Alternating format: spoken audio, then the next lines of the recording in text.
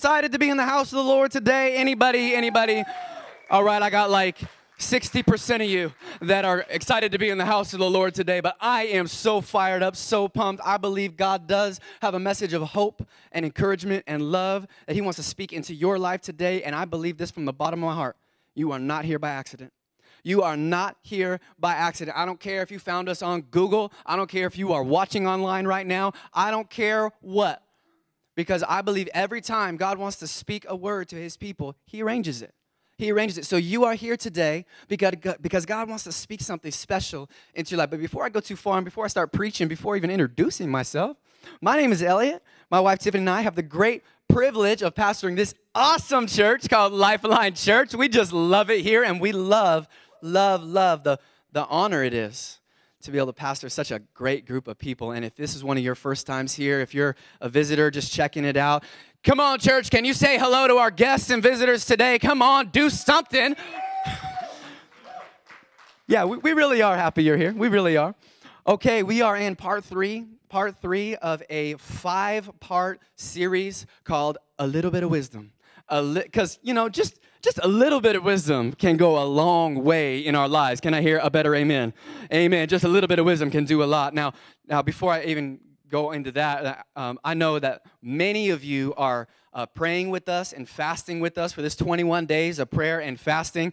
Um, you know, I'm just, I don't know why they call it fasting because there ain't nothing fast about it. Come on, somebody feels me on that one. I'm like, but it's good. It's so good to, to quiet down that voice of the world in our lives and to say, God, I'm, I'm quieting the voice of the world because I want to hear your voice even clearer. You know, when we're fasting and we're praying, we're calling out to God and saying, God, please speak to me. And God says, okay.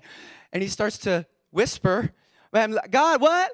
What'd you say? I can't hear you. I can't hear you over social media. I can't hear you over TV. I can't hear you uh, uh, over going out, you know, every weekend. And I can't, I can't, what, God? I can't hear you. And God's like, I'm trying to speak to you, but the voices that you're allowing into your life are too loud. No wonder you can't hear me. That's what he's saying. So when we engage in this every single year, uh, we engage in prayer. Number one, it's prayer because fasting without prayer is just a diet. Come on, somebody, it's just a diet. And you know, I don't, I don't need another diet in my life, and you don't need another diet in your life. But we want to hear the voice of God. That's what we really want. So I know that many of you are joining us in that, and it's just been a powerful time, just a powerful time. So, little bit of wisdom, little bit of wisdom. This is a series from the book of Proverbs, which was written by the, the wisest man that the world has ever known, King Solomon, largely written by him. And it comes from this, this scripture right here, really did it for me, really let me know that we needed to do this and do it first in the year. Check this out Proverbs 4 says this Wisdom is, say it with me, so it's, it's first, it's supreme, it's number one. And if it's on the top of God's priority list, man, it should be top on our priority list too, man. We need to get this wisdom. It says, wisdom is supreme. Therefore, go get it. Don't just sit around and wait for it. Go get it. Though it cost you everything you have. Get understanding. Man, that is that's a powerful thing. See, knowledge, knowledge is knowing some things. But wisdom is applying some things to your life that makes a life change in you. Does anybody understand that? That we can get a lot of knowledge, man. We all got, I got my phone over here, and I can, I can Google anything I want. I can get knowledge on anything. Listen to me here. It takes knowledge to build the Titanic. It takes wisdom to avoid the icebergs. Come on, somebody. Somebody wants to avoid some icebergs in your life. That's what wisdom is. It's taking knowledge and ap- applying it in a useful way so that your life is blessed, and people around you's lives are blessed. It's just, it's the first thing we need to do. So, this topic today this topic today, this the title of my message is called "The World of the Generous." The world of the gen- this topic you, you, can't you can't run away from it. You can't get away from it. If you read your Bible for any length of time, you're going to come across it. It is going to smack you right in the face, and it's going to be right there. Generosity is a recurring theme, but how important is it really? That's what I want to I want to just throw it out there. I mean, to be generous, I mean, it's it's pretty important. It's kind of important at least let's talk about this. I, I did a little word study for, for y'all, and I want you to check this out. I did a little word study to see how many times these topics and words came up in the Bible. So, words in the Bible, you would think a word like believe or belief would be in the Bible a lot. And it is. It's a big topic. It comes up 272 times, the word believe. And that's a lot of times. I mean, that's a big topic, right? Wow is right. But the next, you'd think prayer, praying. That's got to be like the, the, come on, let's come on with it. How many times does that come up? 371 times. Wow, that's a lot of times. How about love? You would think, man, that's the primary thing, right? Love. How many times? 714 times. My drop, my drop, man, that must be it. But how many times does the word and the theme of give and giving come up? 2,161 times. You would think that Jesus and the Bible was written for modern day America, but no, this is not something that only, oh, only our culture deals with it. No, for all of history, for all of it. Why does God want to talk about generosity? Because our God is a generous God. God so loved the world that he he gave. Giving is arguably one of the main topics in the Bible. This, this idea of, of generosity. And, and our God is an amazingly generous God, very giving. He is very, and I believe that when you follow Christ, when you make that decision to follow Christ, say, Yeah, I'm gonna follow Christ, it's something that we inherit. When we make Him our Father, we inherit that as children of God. We inherit that kind of generosity. Actually, I just want to give props to you as a church. You're one of the most generous churches for your size. You are one of the most generous churches that I know of because I know that you guys are getting this. So I just want to take, take that little moment and, and give you props because you're amazing for this. I, I'm, I'm blessed by it. I'm blessed. When I say that I'm, I have the privilege of being the pastor, it is a privilege because you guys totally get this and it's amazing. I love it. But let me, let me talk to you about why, why, why we called this message what we called it. Um, Proverbs 11, out of the Message Bible, Message Bible, paraphrase, says this The world of the generous gets larger and larger. The world of the stingy gets smaller and smaller. Whoops. How'd that get in there? but the world of the generous gets larger and larger. And you want to know something interesting about all these passages, all these, all these times that, that that topic and this, this word comes up of giving and generosity? It is almost always in reference to the giver. You would think God wants to talk about giving because there's so many hurting people out there, because there's so many people in need. Man, that comes up a little bit, but you want to know what comes up a lot? No, even this one right here. The world of the generous gets larger and larger. It's talking about what generosity does in us, not what generosity does for others. It's about what generosity does in us because it does something in us when we decide when we decide to engage in that. Basically, the Bible teaches that you should be generous not because of what it'll do for them, but what it will do in you in you. That's what that's what this topic is all about. So let's get down to business today. I got a lot to cover and a little time to do it. So let's just go right to it. I've got bullet points in your handout. We also are on YouVersion, the Bible app. You can get on there and get on events, and you can take some notes that way and follow along the scriptures. We've also got the scriptures on the screen. We try and make it as easy as possible for you to take that take that step of engaging, because what good is a message if you're not if you don't get to participate in it. That's just the way I feel about it. So, number one, the first thing I want to talk to you about is this the generous are happy. The generous are happy. That's, that's cool, right? That's pretty fun. Don't believe me? Uh, let me talk about this for a second. It's like, it's like buying a candy bar from the little girl selling uh, or Girl Scout cookies. You know, she comes up to your door and you don't want any cookies because you're fasting. You don't want. I'm like, oh my gosh, don't come at me with those cookies right now. I want them so bad, but I don't want them. But you know what you do instead? You take out a little dollar bill and you're like, you know what, honey? I, I want you to do well, and but I don't want your cookie right now. I want to just give you, and you see her face just light up. Have you ever done anything like that? Have you ever done anything like that where you just get, it, it could have been anything small, and you just gave it to them and you saw their countenance change? It does something inside of you. Now, I'm, I'm here to tell you that, that God built in psychologically and, and physiologically, when we give, there's a response, there's a reaction. Your brain actually lets down chemicals. When you engage in generosity, it actually creates a good feeling in you. You know what that tells me? God could have said, you know what, you just need to give, you just need to do it. God didn't say, I'm gonna, I'm gonna make you do it. He said, I'm gonna make you like it. That's awesome. I think God is so funny. He created our bodies to react the way they do, didn't he? So why, why would he do that? He wants he, he wants you to see that this is this is me. This is I created you in my image. I created you to enjoy giving, to make you happy when you, because it makes me happy when I'm able to give my son, when I'm able to give the full, the riches and the fullness thereof, all the earth belongs to him. And he just, he distributes it out. The generous are happy. The generous are happy. Proverbs 11 says this The generous will prosper. Those who refresh others will themselves be refreshed. Those who refresh others will refresh others. No, you'll be refreshed. That's what it says. That's what the whole point of the scripture said. When you refresh others, watch. Something's going to happen in you. Isn't that amazing? I just love God. Something happens inside of us. Proverbs 21. Some people are always greedy for more, but the but the godly, they love to give. They're like just tossing stuff out like prancing, or they love to give. I'm not saying you got to prance to give, all right? Back it up. You don't have to do be it like that, okay? But let me explain to you a little bit what this is like. So I don't know if y'all are like me, but this happened to me recently. Christmas came, and uh, around the 23rd, I started buying presents for everybody. I'm just saying, you know, I just, and I, no other procrastinators in the whole house. That's fine. It's just me. It's just me. But this is. Let me tell you something. What happens to me, and this happens just about every year. Every year, I start buying the week of Christmas.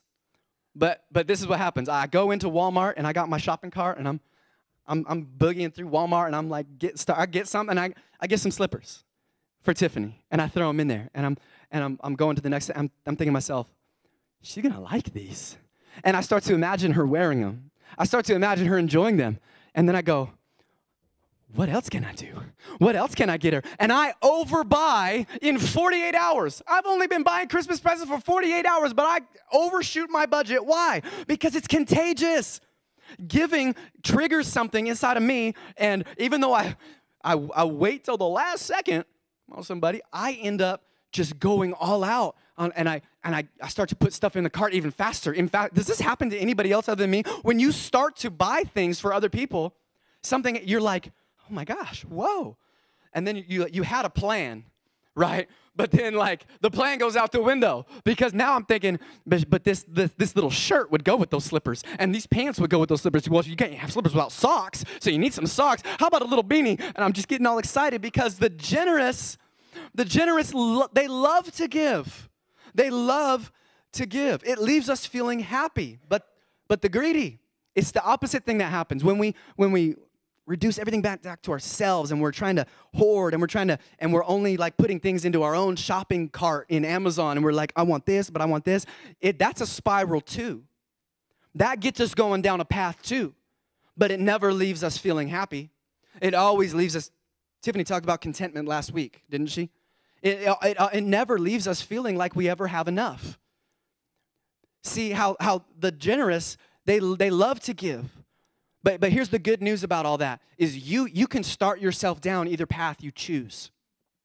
You can start yourself down the path of generosity. You can start yourself down the path of, of you know, wanting to just keep those things for yourself.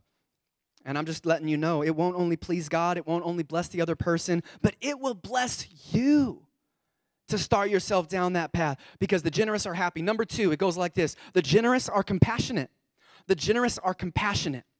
They're compassionate. In other words, the generous are, are in tune to the needs of others. It's like when, when you're really walking in this path of generosity, and this is the little bit of wisdom, man, is just to walk in that path of generosity. When you begin to do that, you will start, your antenna will start to go up and you'll start to be in tune about the needs.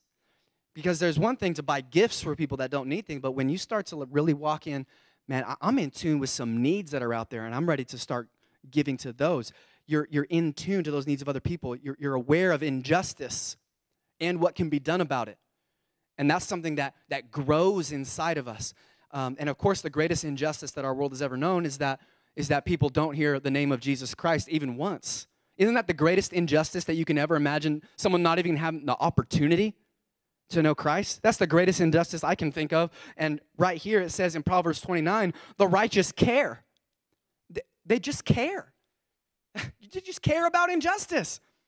Justice for the poor, but the wicked have no such concern. So, did you know that when you give through Lifeline, and I, and I said that on purpose, okay? You don't give to uh, your local church, you give through your local church. Because your local church i didn't know if you you know this or not because when you give through your local church you are helping build a recovery center. You're helping hundreds of people uh, uh, hear the gospel each week. You're helping hundreds of people be fed every single week. These are things we do on a weekly basis. You're helping people get clothes on their back in this cold weather. When you give through your local church you're actually distributing that generosity all throughout the whole community and throughout the world so that's why I like to say you're not giving to a church, you're giving through a church because you know some people like to be strategic about giving. Some people don't want to just invest in one thing. They like to have a, a wide portfolio. They like to invest in, in overseas. They like to invest here. They like to invest in startups. They like to invest in long stand. No, they like to spread it around. And that's called wise investing. So when you're giving and thinking about generosity, why wouldn't we give to or through an organization that is reaching and touching every corner of the world. Let me explain to you um, how you're impacting not just this community, because Lifeline Church does an awesome job at reaching this community as far as the thrift store that we have down the street that feeds people every single week, that puts clothes on people's back every single week. When the Star Hotel burned down several months ago, we were able to give like a 100 people full wardrobes again. You did that through your giving. Did you know that?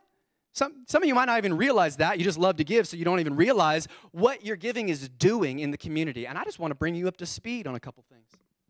Let me bring you up to speed on a couple other things. So, from your giving, did you know the leadership of this church has strategically, we sat down and strategically invested into different organizations so that we can reach as many people as possible? One thing we do to reach across the whole world is we invest in FMI, also known as Foursquare Missions International, which is responsible for sending missionaries and planting churches in over 150 nations. There's not very many left that we haven't sent, missionary, sent missionaries and planted churches in. Today we have 66,000 churches that have been planted from your giving. Did you even know that your giving did that? Maybe you didn't even realize what, what your giving has been doing. So this represents 80% of the nations that even exist. And by the way, I can't even mention some of the missionaries that we have out that I personally am aware of, but I can't talk about because it's against the law for them to be having underground churches there. Your giving is helping that happen and helping people hear the name of Jesus where it's illegal for them to do so. Did you know? Did you know? Did you know, if that were not enough, that we sat down and we strategically give a percentage of everything that comes in, we give it to an organization known as the ARC, the Association of Related Churches, that to date has planted over 800 life giving churches in this country and is, in my opinion, doing the best job of anyone. It's the fastest growing organization about planting life giving churches in this country. They just know how to get them in America. I don't know how, I don't know why, but we're using some of their stuff too, and we're investing in. The, last year, they planted 80 churches. Most, most organizations are closing their doors. But through your giving, we opened 80 new life giving churches. Let me just tell you, these churches don't start small. They start at about three, 400 people reached in the community. That's how they begin, and then they grow past that. Did you know your giving was, was helping that happen? It is. And it's making a difference in the kingdom of God. If that were not enough, did you know that from your giving, we are actually strategically investing to reaching people in Israel? That we're actually giving to Christian organizations that are helping Jews, the inherent ones from God, God's first children. And what does the Bible say about that? If you bless my people, I will bless you. Did you know that you're, you are giving to Israel? From your, you're giving not to here, you're giving through here is doing all of those things. So think about that the next time God puts it in your mind or gives you the idea or gives you the unction to want to give through your local church. Maybe you're visiting today. Maybe this isn't even your local church. But maybe you're, where you're called to do, next time God puts it in your mind to do that, Think about all those things next time God puts that on your heart. Proverbs 21 says this If a man shuts his ears to the cry of the poor, he too will cry out and not be answered. Dang, Lord. That's rough, isn't it? Well, um, don't tune this out, everybody. I, I know it can be hard to hear about this kind of stuff. Some, it can be hard for all of us to kind of hear about this, but I'm just I'm just trying to help you see. I'm trying to help you see the value in this. If if just doing it because it was the right thing to do were enough, that'd be one thing, but I want you to be educated and know like this is how my giving is changing lives, okay? And you won't be tuned out when you're the one in need too. How about this next one? This one next one's a little bit funner. The generous are blessed. The generous are blessed. Come on, somebody. You ready for a little reprieve here? The generous are blessed, and I love that. Now, it's my job as a pastor, though, to teach this in balance. Teach this in balance because the last thing I want is for all of y'all to, you know, engage in giving and, you know, engage in being generous, whether it's here or anywhere, and be like, yep, can't wait for my blessing. You know, because what am, what am I trying to do? Am I trying to like really, really convince you about the principle of getting? No. I want you to catch the revelation of, of giving. But this is it's very clear what the Bible says about the issue. It says you will be blessed. But I don't want that to be your motivation. And we, we have something that we say around here, and it, it really matters to us. We don't give to get.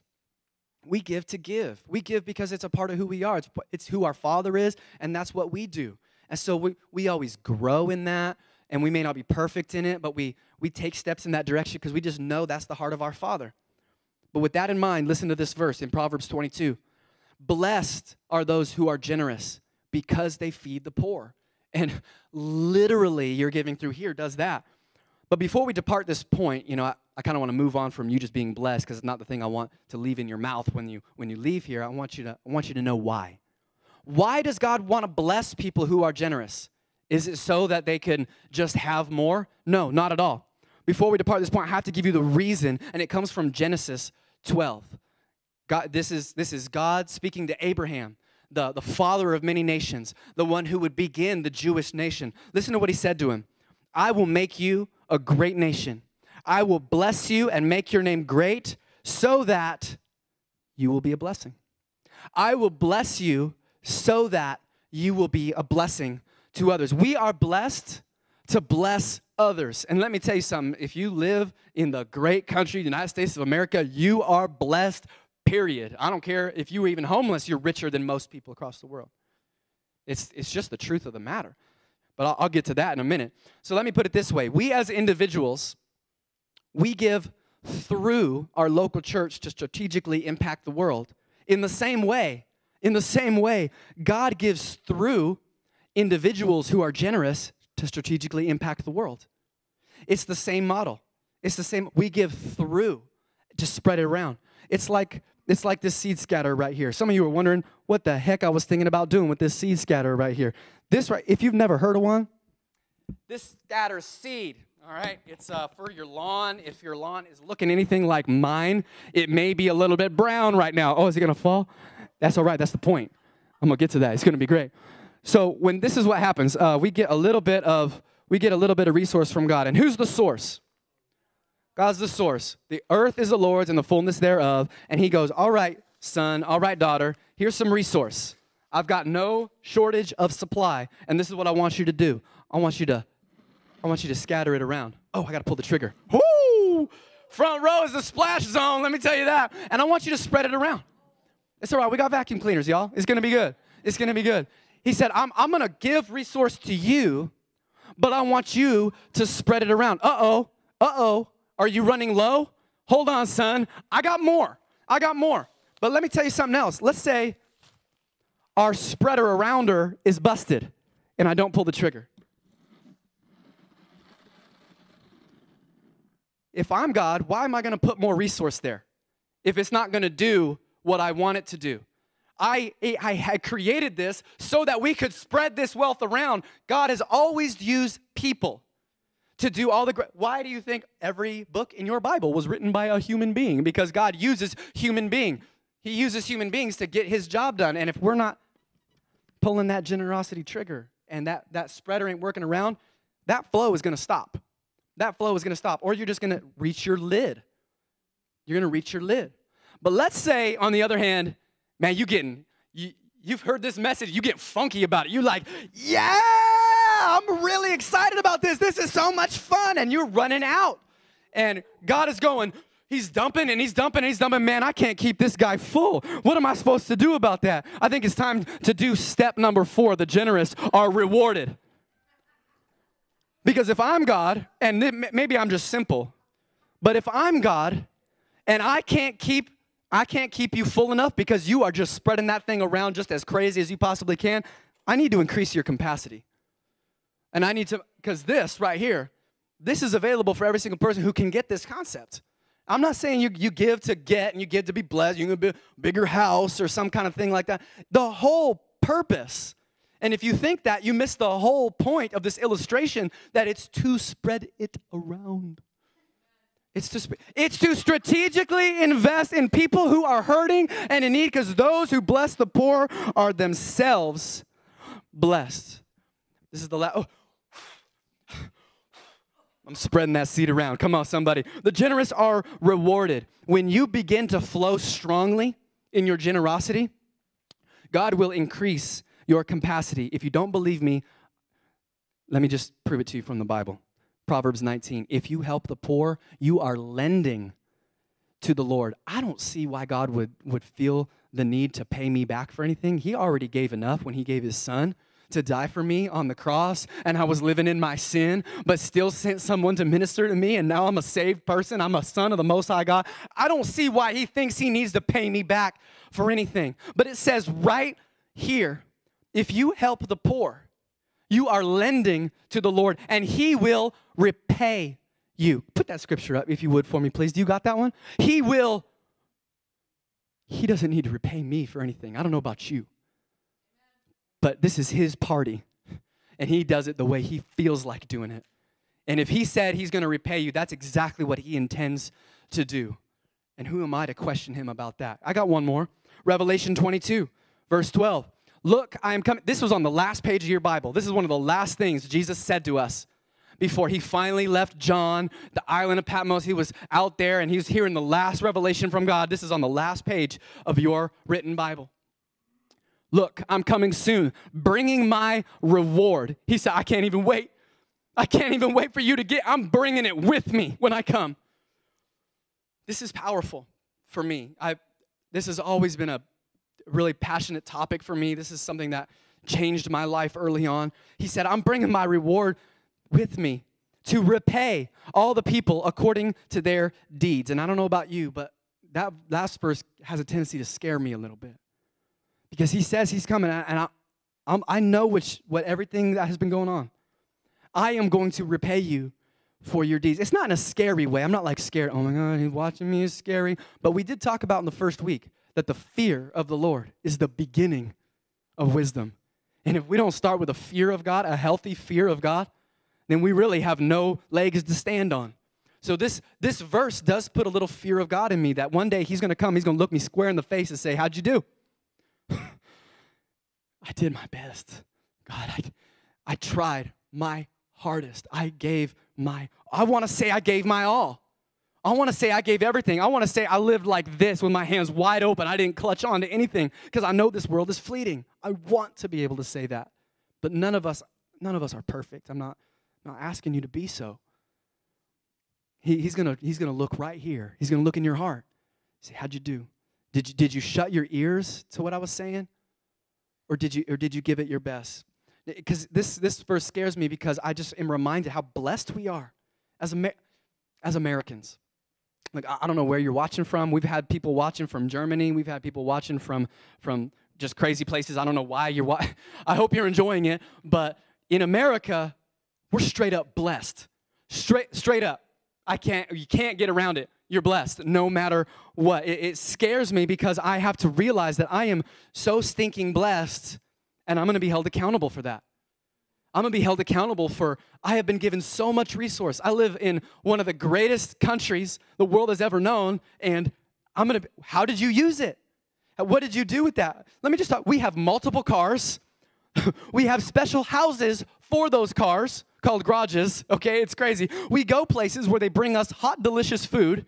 We forget to say thank you, and we send it back if it doesn't meet our highest standards, okay? It goes on. We open our closet to walk in there to see hundreds of possible outfit combinations and we storm out saying, I got nothing to wear.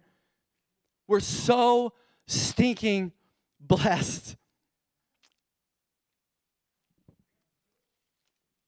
And we complain. And we stress, like, I give a little away, oh my gosh, I don't know if I'm gonna make it. It's crazy. All that to say we're extremely blessed, but can we honestly say we're equally generous with how blessed we are?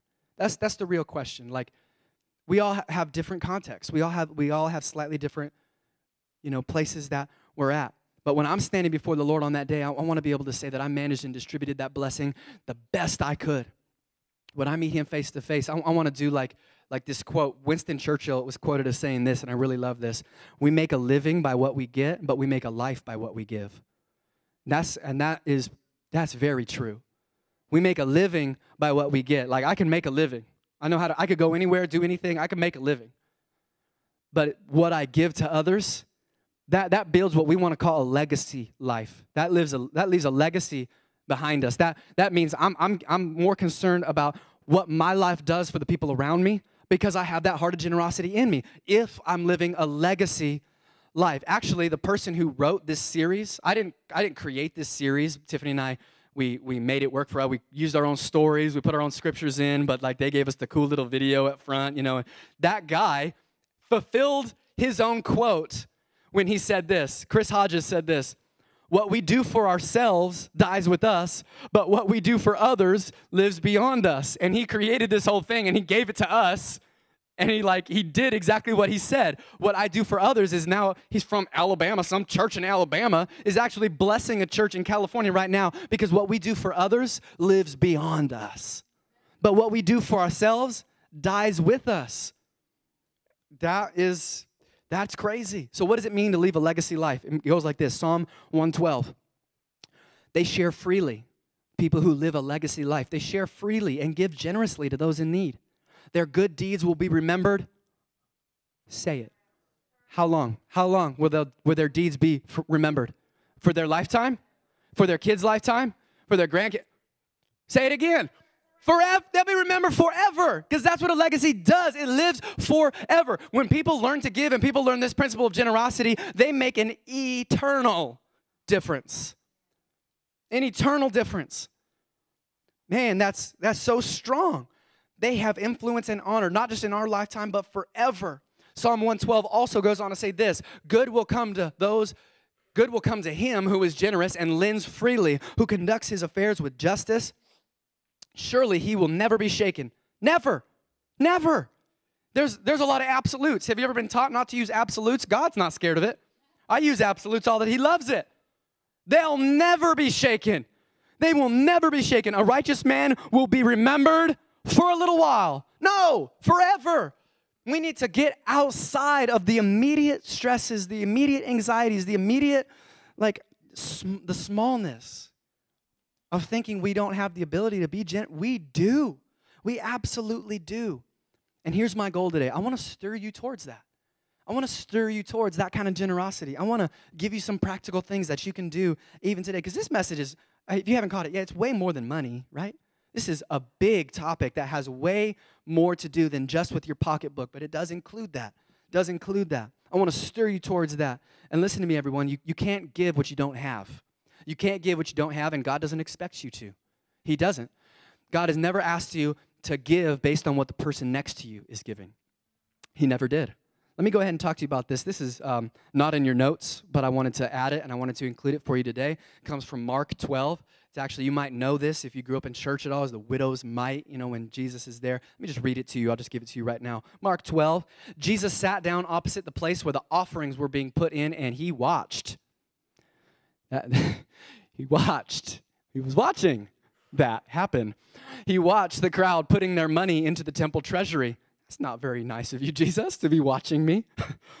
Many rich people threw in large amounts.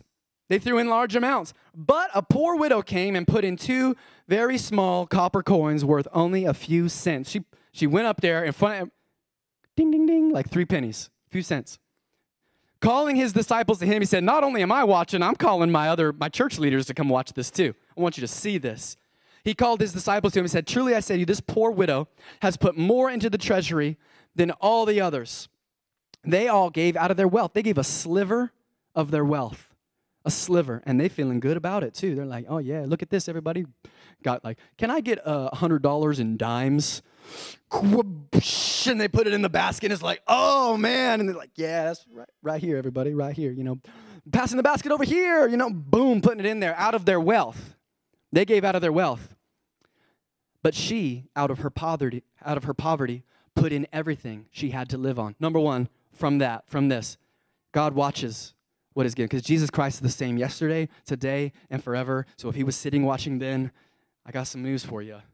He still sees. In fact, only in modern times do people really care about privacy with their giving. And I wonder why. Giving to, to the local church, historically speaking, was always a public event. The big, uh, they had a big offering container, like right in the middle of the courtyard, and people would come in, and it was a public event. Everybody knew what was going on, and that was the way it was done. But now it's like, don't let your left hand see what the right hand is doing. Everybody want really concerned about not being watched now. But let me just tell you, even if nobody else sees it, God does. You can fool me, you can fool Tiffany, you can fool everyone here about what's going on with that, but Jesus is watching. Jesus knows. Number two, he's not concerned, he's not as concerned with amounts as he is with percentages because God not only, Jesus not only knew what was being given, he knew what that represented to them. That's why I can say, it's because of this scripture, God isn't as concerned with amounts as he is with percentages because he looks at the heart and knew that that widow, that was all she had. That was all she had. And so, as far as God was concerned, that was the bigger gift.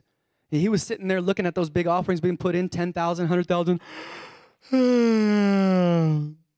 His streets are made with gold. He doesn't care about that. He's looking at their hearts. And he looked at a widow's heart and said, Man, that could have bought you a little crumb of bread right there. I'll bet you're hungry. Don't worry, I'll take care of you. God is more concerned with percentages than he is with amounts. That's why the Bible has always talked about the tithe. It means 10%. That means every single person here is, is responsible for a different amount. You, me, and by the way, I'm not exempt from that. My wife and I have been doing that since before we got married, and after we started here, we always have done that. But every single person here, and God doesn't lose count. He's not like having trouble carrying the three, and He, he knows. And you do too. And all of us are we're responsible for different amounts, and God looks at the heart. He doesn't look at a big the big pot and say, you know what, well, you didn't give exactly as much as they did. He not because I'll talk to them later, and I will. I'm talking to you right now. What did you do with what I gave you? But biblically, um, you know, the, the tithe, I'm not even really talking about that because that's just the beginning. Like, that's the obligatory part. I'll talk about that in a second, right before we wrap up. But Second Corinthians 9 says this He said, You will be made rich in every way, not just money, not just money. You'll be made rich in every way so that you can be generous on every occasion. From this verse, we ought to be thinking, Lord, what are all the things that you've given me that I can be generous with? I'm trying to think right now, like, if it's not just money, and it would be simpler if it was, because I could just write a check and be done with it, but it's not like that. It's not at all like that. No, he said, I'm gonna bless you on, in every way. I'm gonna bless you with time, I'm gonna bless you with talent, I'm gonna bless you with touch, and I'm gonna bless you with treasure. And I'm gonna be checking how, how are you dealing with all of those things? Which gets me to uh, my next thing. This is about to get practical. For those of you who are looking forward to some practical things you can do, it's going to start right now. Thing number one you can do, go ahead and put this up on the screen for me. You could be generous with our time. If you want to be a legacy person, you want to live a legacy life, you could be generous with your time. And for some of you, your time is more valuable than your money. Man, you know, you'd be like the, the poor widow who gave only a few cents. The money's not worth that much, but she can give her time at the temple. Listen, I want to talk about a group of people right now. I'm talking about the group of people that are watching your kids right now, praying over them. I'm talking about the people that made sure there was toilet paper in the stalls today. talking about the people that were standing outside smiling at you, shaking your hand when you walked in. I'm talking about the people that are click clacking on all the computers back there, making everything go nice and smooth just the way we like it. I'm talking about the people holding cameras right now. I'm talking about the people who who printed those bulletins that you're holding in your hand. Oh, this is kind of nice, but somebody gave their time. I'm talking about the dream team. I'm talking about the people that said, you know what? I'm not only going to worship here, I'm gonna give my time here. And I'm gonna be generous with that time. We were talking about this this morning in our morning rally, uh, and God wants to bless you for that too, for being generous with your time. Because for some of you, man, that's that's one of the big things that you can do is begin to begin to be generous with your time and how you're giving your time to people. Number two, you can be generous with your talent. You can be generous with your talent. Some of you might be thinking, you know, Pastor, I'm not that talented. and uh, yes, you are. You are absolutely talented. You have talent. Maybe you're not American Idol talent because some of you, you know, you just ain't. you ain't American Idol talent, so don't, you know, like you try for a different team, all right? But you got talents. You got Ephesians 4 talks about to each one grace has been given and that word grace is translated is translated from a Greek word charis or charisma that means divine enablement. Divine enable each one to each one a divine enablement has been given to do certain things well. Every single person in this room, listening online, everywhere, was created with talents and spiritual gifts and abilities to be able to make an impact in the life of another person. Maybe it's a loud gift like mine, like I had a loud gift, and everybody on the worship team, we got loud. It's easy to see what ours are, but you know, I've had people be generous with their time, you know, like this haircut right here. Someone, someone had the talent of cutting hair and said, you know what, I, I'll just cut your hair for free. That's called being generous with your talent. But if you don't know what your talent is, it could have to do with anything. It could have to do with music. It could have to do with um, organizing things well. It could have to do with um, encouraging and teaching people. That's why we have a growth track here. Every Sunday during our second service, we have a growth track. And a part of that process is learning what your spiritual gift is and what your personality you know, profile is. Why? Because we want to teach you about what your charis is what your divine enablement is so that you can serve with and be generous with your talents. You can be generous with your talent. Number three, you can be generous with your touch. You can be generous with your touch. Let me explain to you what, a little bit of what this means. This is kind of a new one. I always talk about time, talent, and treasure, but touch is a little new. So let me explain. Did you know that you could pick up your phone right now? Matter of fact, go ahead. Pick it up. Take your phone out. It's all good. Take it out. Go ahead, everybody now. Take it out. You could pull out your phone right now and I could pray a little prayer like this Lord, give every single person here a name of a friend or a family member that could use a little sentence that says, Hey, love you, thinking about you, praying for you. Can we take like 15 seconds for you to do that? Oh, wait, I'm, I don't care about awkward silences. Go ahead. If I had my phone, I'd be doing it. That's called being generous with your touch. That's called, it, how much did that, that didn't cost you a dime. That cost you nothing. But you were generous with giving someone a touch and just touching them on the, I'm, I'm praying for you. I care for you. You matter to me, and you have no idea what that might do in the life of another person. You have no idea what they're going through right now. Maybe God gave you a name of a person that you haven't talked to in a minute. And you have no idea what they're going through, what their context is, but they they might just come back and say, with as many people as we have here, there might be one person at least that comes back and said, you know how, you don't even know how much I needed that right now. You have no idea what my, what's going on in my mind right now. And you just saying that changed everything for me. Those who refresh others will themselves be refreshed. There's a principle here that it's sowing and reaping. The seeds are appropriate. When we sow generosity, we reap generosity. If you don't know what sowing is, it means scattering seed. It means planting seeds in the ground. And reaping means I get to pick the apples that I, that I planted. Or I get to pick the generosity that I planted. Or I get to pick the blessing that I gave to others. You can be generous with your touch. You have no idea when God wants to distribute a touch of encouragement through you. Because God wants to use people. He wants to use people to bless others. And this last one should be obvious. We can be generous with our treasure we can be generous with our treasure. Now, there's something I need to clarify here because you might be thinking I'm just talking about tithing, you know, it's like the, the baseline thing, you know, but Malachi 3:10 does say that the tithe belongs to God. So obviously I'm not talking about tithing at all. Why? Because this this thing belongs to Ernie Meyer. And, and, and if I was th- saying to myself, hey, hey, Ernie, where's he at? I'm feeling generous right now. I'm going to give this to you. What's he going to say? You dang right you're going to give it to me. That's mine. Because if I keep it, there's a word for that. And that's exactly what the scripture goes on to say. That when we keep that, it, you, you're not even being generous with that, you're just being obedient. So I'm not even talking about that. Man, if you think if you think this kind of preaching is strong, you know, and I cross the line, let me go ahead and long jump over that line right now. I'm talking about tithes and offerings tithes and offerings because when we begin to like move beyond the baseline foundational stuff, that's when we really begin to see breakthrough in our life. We really begin to see it. I can't. Giving back what belongs to Him is, is obligatory. So I'm talking about another level, the, t- the term tithes and offerings. And, I, and I'll just go ahead and the best way for me to talk about this is just to be vulnerable with you. And I, I did wrestle with this quite a bit because I don't want to come off like I'm some kind of, you know, perfect or anything. But Tiffany and I have been tithing since before we got married, since before we became pastors. It wasn't something we did so that, you know, for me, I just read it in the Bible and was like, oh, supposed to do that? Okay. I guess it was helpful that I didn't make a whole lot of money then. And so it was easy for me to take that step, maybe. You know, and if that's the case for you, I pray that God would uh, bring you to a place where you can make that step so that you can begin to move forward. And so we made that step, but this is something that this is something else that happened. Um, Tiffany's parents, and she told me about this, that they would always meet. Um, this was years ago when she was a kid, and she picked this up when she was a kid watching her parents. And so what we do actually matters not just for us, but our kids watch us do the same thing too. And what Tiffany would watch her parents do is every year or so, they would evaluate their giving and decide how much more percentage they could give.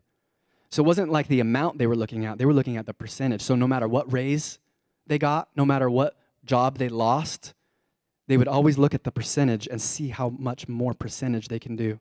And so Tiffany brought that up to me, and I'm like, what do I got to lose? What do I care? You know, I was a sinner. I don't know about y'all, but I was out there on the streets using drugs. I was out there in jail, spending, doing, doing time. And now I'm out here like, I'm gonna try and keep some stuff that God gave me. I don't care. What, what are you gonna take from me that I haven't already lost and gotten back like 10 times? I don't care. And so I just was like, let's do this. And every year, so often, every couple years, every year, we've been able to go from 10 to 11 to, to uh, you know, but it's just, it keeps, it keeps on going. And let me tell you a story or two. You know that, that, that thing about that person cutting my hair? Every time we go up, some bill, some recurring bill goes away. some, one of the first times we did it, someone came to me and said, Hey, I heard you like to play golf. I'm like, yeah, I do. Like, if I, if I took care of it, would you play more? Would you be able to relax more? I'm like, yeah, I would. I'm going to do that. Right, right after we went, what, right after we went up and said, you know what, God, we're going we're gonna give even more. And, and God's like, and just recently we did it again. We did it again. And it, you know, I got cool hair, you know, so I, I need a cool haircut, right? I need like, I won't pay money for my haircut. So I was Okay, you laugh at me. You laugh at me, but I spend like $40 a month getting a haircut. I would give every three. well, I was like allocated that much, but I only ended up spending like 30 because it's like 15, and then I got to tip this dude. He knows I'm a pastor. I'm not going to not tip him. I'm going to tip the heck out of him. So I'm going to tip him, and then I'm going to come in every three weeks or so so I look fresh. And yeah, it's just, you know, you got things that you do. So I got things that I do too, okay? Come on. So we went up in our giving, and somebody came to me, a hairstylist, someone who's really good, and said, You know what? Man, you would look cooler if you got your haircut every week. You're, you got a public platform, man. You need to look good. Let's take care of that. $40, just, it's happened again and again and again. I'm trying to tell you, I'm, I'm trying to show you that God's not going to leave you behind in this. I'm not saying that if you start giving or if you give more, He's going to, you know, give you a house. This is not at all what I'm talking. I'm just saying that God is real and he does real things in our lives. He actually shows up and he actually does what he said he would do in his word. I'm trying to show you that this is not just it's real. It's re- and this principle is true. And this scripture that I'm about to talk to you about right now in Luke 6, it says give and it will be given to you. Press down, good measure, shaken together, running over, will be poured into your lap. And that's not even talking about money. You know what this is talking about? It's talking about judgment. You know what that, doing what that shows me? This is true in every single area of your life. This is a principle that is unavoidable. It says, judge not. Right before this, I don't know if you knew that, but right before this, it says, judge not, and you will not be judged. For with the measure you use, it will be measured to you. Give, and it will be given to you. Give judgment, and judgment will be given to you.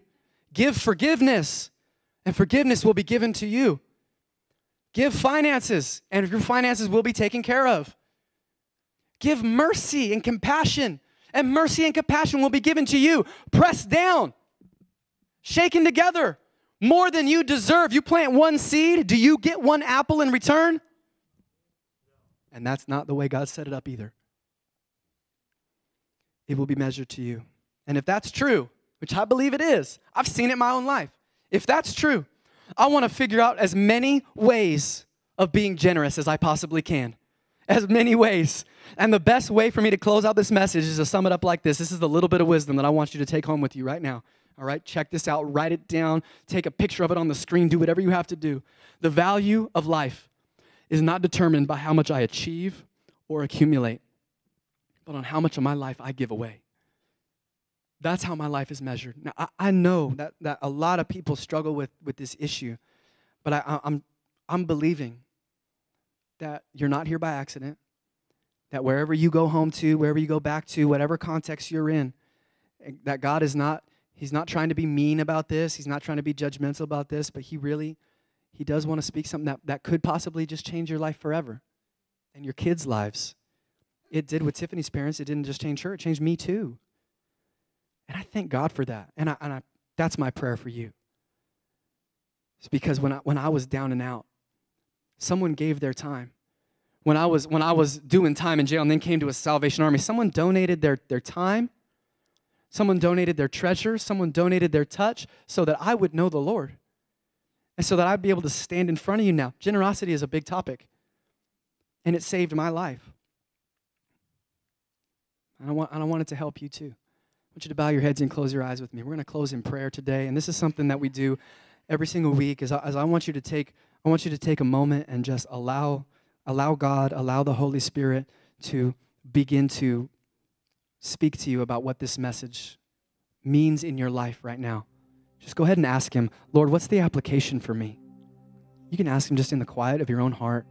You can even ask Him under your breath, whatever helps you do it. Lord, what are you trying to speak to me? And I just know with it, with all of our heads down and eyes closed, I just know there are some people here today who who have a who have a strained relationship with God. And maybe maybe you feel just so distant from him right now and somehow some way God has been speaking to you even while I've been talking. I've been talking, but God is the one who's been speaking.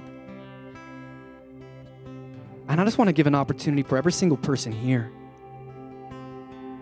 whether you had a relationship with God, whether you never had a relationship with Him, no matter where you stand with God, there is an opportunity and an offer right now for you to come back into close fellowship with Him. And it's as simple as just taking one step towards God. Because let me tell you something that might change that might change your perspective. God is not as concerned how far away you are from Him. He's concerned in what direction you are moving. Are we going to make a step towards Him? Are we going to lift our hands in just a moment and say, Yes, Lord, I want more of you. I want to be close to you. I have been distant. I have. I have grown distant from you, God, and I'm ready to step back in. Or maybe you haven't even had a relationship with Him. You're ready to say, I'm, I'm going to start this thing off today. I'm going to start this thing off today. So if that's you, and you want to do something new in your life, you want to give your life to Jesus and let Him take the controls of your life and begin to have a new start in your life because behold, God makes all things new. He makes broken things fixed, and God doesn't make junk. You are not junk. You are not leftovers. You are not a waste. God, you are God's treasure. You're His masterpiece. He loves you more than I could ever explain or describe. He loves you, loves you, loves you, and cares about every single feeling that you're feeling right now, every single struggle you're having. God cares about it more than I ever could than your mom or dad ever could, than any of your closest friends ever could. God is the one. He's the only one who can make that need. He's the only one who can meet that need. So if that's you, I want you to just go ahead and lift your hand up right now. Go ahead and say, God, I'm here for you. I'm ready to give my whole life to you. Go ahead and do it right now. Be bold. It's all right. We're going to pray for you. Amen. In the name of Jesus, I just pray right now. Let's all pray this prayer together for the sake of those who are ready to give their lives to Jesus. Just repeat it after me. Father God, I give my life to you.